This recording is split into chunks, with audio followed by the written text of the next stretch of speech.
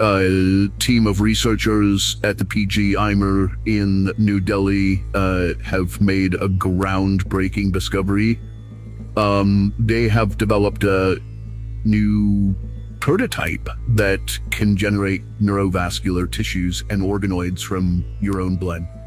Um, this advancement in technology could revolutionize um, precision medicine.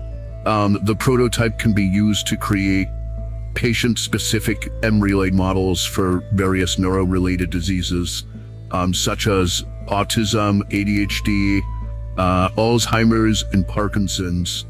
It can also help in understanding genetics and neural circuits. Testing in drugs that bypass the blood-brain barrier can identify biomarkers for early neurological diseases. Uh, what's fascinating is that this prototype is cost efficient and does not require any uh, specific media or growth factors for culturing.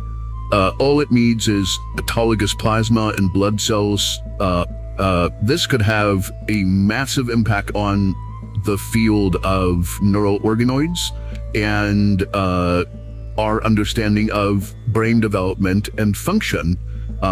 Um, but in, implications of this research are vast. It could help in studying neurological disease pathways, neuroregeneration, preclinical neuroimaging, gene editing, and immunotherapies for tumors and autoimmune diseases. Uh, the the researchers are even in the process of filing a patent for this prototype, showing uh, just how significant this discovery is.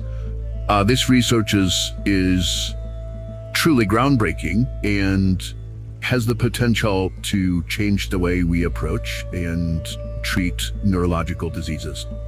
Um, uh, stay tuned for more updates on this exciting development